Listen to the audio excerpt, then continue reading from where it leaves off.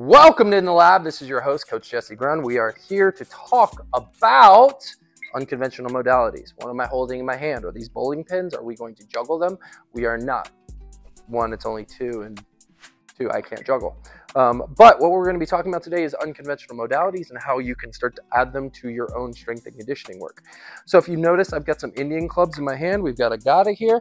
We've got a lovely, lovely steel mace. Let's see if she stays upright.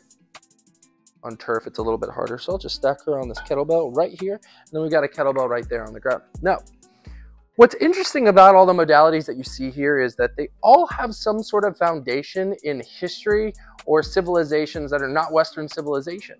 And they're not from the 21st century. These are all historically used. Kettlebells were used for agriculture when they first started out.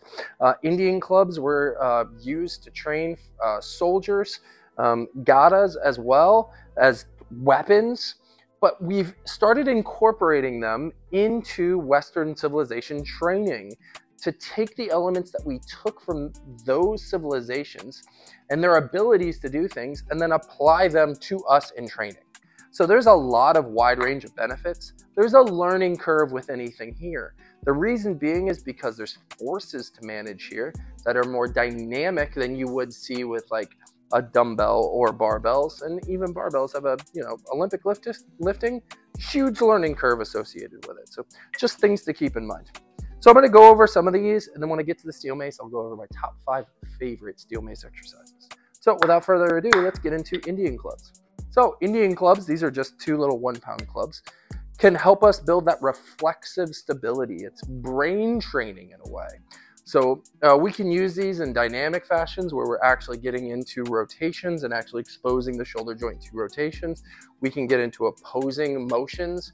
We can get into cross body motions with it. Okay, we can do things like dynamic chops and add them to more of our dynamic locomotion movement. And the anatomy of the Indian club itself then has to make me decelerate. And then that lever that I'm decelerating is further away from me. It's further away from the handle. If you notice my hand is down here, this is the lightest part of the club. And as I get up to the top, it becomes the heaviest part. So there are a wide range. We tend to see these more in the rehab setting, but they have such a place in every workout setting and every potential strength and conditioning gym should have Indian clubs being used. Check out Gray Cook and Functional Movement Systems. He likes to talk about Dr. Ed Thomas on there quite a bit, who talks extensively about how these can be incorporated into your training and how they will make you just move better, move well, and connect your brain to your body. And those are our Indian clubs. A little bit bigger and kind of a sister in the family. This is a Gada. Okay, so think of it like a, a much larger Indian club. There are different sizes and shapes of Gadas, but this is going to be a little bit heavier. This is just five pounds, but you notice that it's a little bit more to manage. Now, with this one, I really have to work on the centrifugal force because, again, one of the constants here. Handle isn't where the load is, so now the load is further away from my center of gravity. That's going to make anything I do harder to manage and be able to do, which is what some of the benefits of training with these modalities are. A typical exercise now becomes something that I have to work to manage a force as I'm doing it. Kind of looks like a bat, but I tell you what, this doesn't swing like a bat. Um, and so being able to learn how to do things with this, very similar to the Indian club, much larger size, so much greater demand on the tissue and the joints associated with it. Much like the kettlebell itself.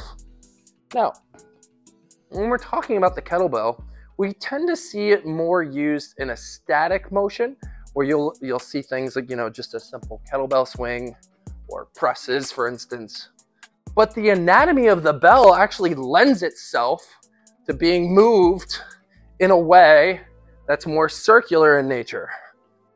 So I can actually do things with it that are more dynamic. Okay? So the kettlebell itself, which again started as an agricultural tool, allows itself, based on anatomy, to be a ball that moves. Okay? So something to keep in mind when you're working with a kettlebell, if you've had one for a long time, don't necessarily know how to get into that. If you actually check out Living Fit, our uh, parent company for this show, actually have um, education in there and programs associated with learning how to move in multiple directions with the kettlebell. So highly, highly encourage it. Now we can really start adding load to the movement.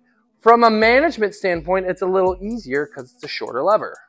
So that load is a little closer to the hand than it is with Indian clubs or the Gada. Now let's go in the other extreme. Now let's go to the steel mace. So the steel mace. So this is a 15 pound steel mace. And something to remember is most of the weight is up here.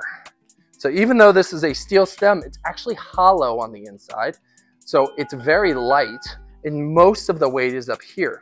Now, with the traditional longer uh, gadas and Indian clubs, or not Indian clubs, but maces that you see used in historical times, they are longer and normally wood, and then it's stone or iron at the top. So an even greater force that you have to manage whenever you're doing it. Steel mace is a little different. At least you get a little bit more load into the handle itself. However, most of the load is still down here at the end. So you have to be able to manage that. So love training steel mace. You're constantly trying to manage a force. You're resisting rotation whenever it's on one side and just doing linear sagittal exercises like lunges or squats or presses. However, it lends itself to being rotated and moved.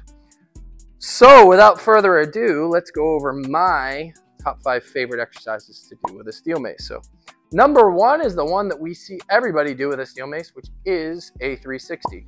Um, steel mace 360s mean that I'm going to start with the steel mace parallel with my midline, and I'm going to wrap it all the way around my body and bring it back to that parallel position. One of the things to remember with the 360, and one of the things I think most people don't necessarily understand when you're doing this is you got to remember you're the sun and this is a planet.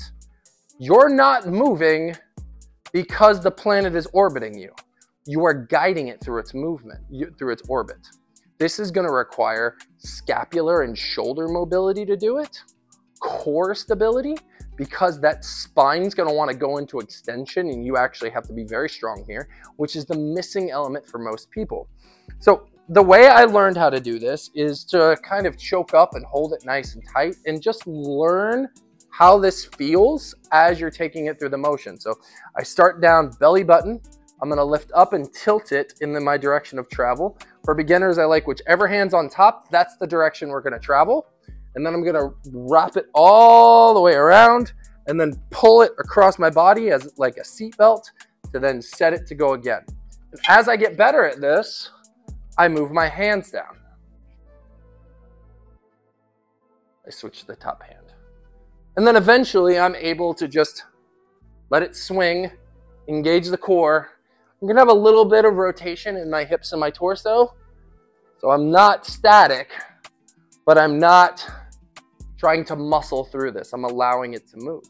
Okay. Eventually those turn into single arm 360s, which is just like kind of like that Indian club I showed you, but a lot more difficult. So first exercise, 360. Second exercise that's my favorite is the lateral press out.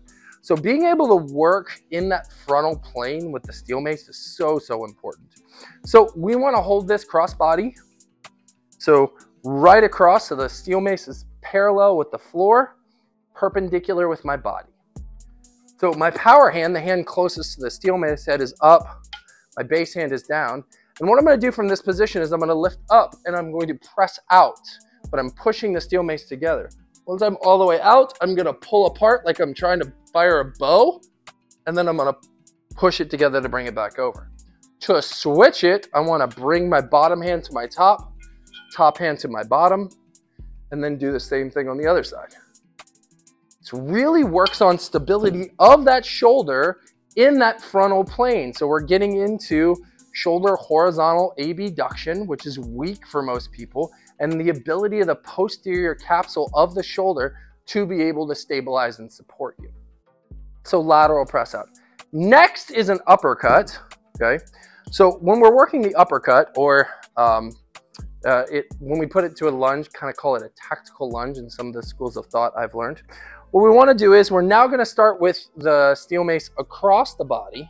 So, so I want to grab the steel mace head in my right hand, but I want the head next to my thigh. So I want to feel like I'm almost about to joust with it. And then what I'm gonna do is I'm gonna overhand grip the left hand down. And so it's across my body. From here, I'm gonna pull that hand up. So now I've got steel mace across my body with the, with the steel mace head at the bottom and then drive that arm up and in front of me. Now I've got this awesome push-pull mechanic and I'm working through almost that chopping motion, but I'm using the steel mace here. So we're getting into those obliques. We can add rotation to this if we want to. And again, one of my favorite variations is to actually add the lunge. We call that the tactical lunge. So we've got our 360, our lateral press out, and our uppercut so far. Next is a lower body activity that I really love to do with it, which is just a switch squat. Now this provides a little bit more dynamic motion to the squat, having to manage the force from one side to the other.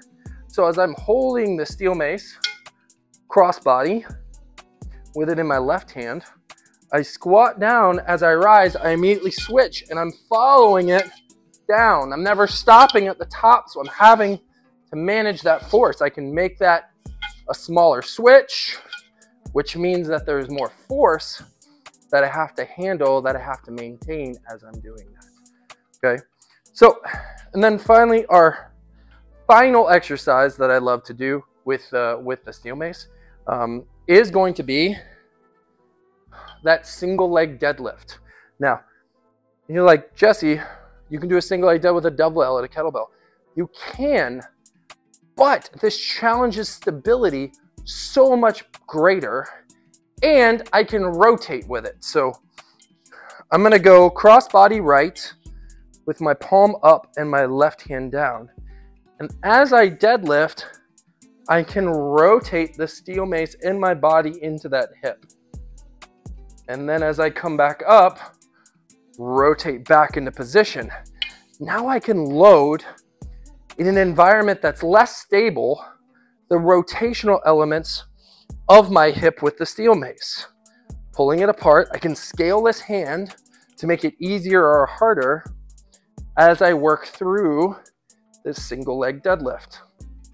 Here, and then up, which is an amazing exercise for learning how to load into that hip and drive forward. Thinking about the way we dynamically move in life, we tend to not move just straight ahead. There's modicum levels of rotation as we do it. So if you haven't tried some of these unconventional, non-traditional modalities, I highly recommend it. As I said, uh, Living Fit actually has a series on the kettlebell. You can learn the basics and then start to learn into the foundations to flow, which gets into our advanced realm. Um, so these are incredible tools that we've pulled from our history that will make you a better functional mover no matter what your occupation or your sport is.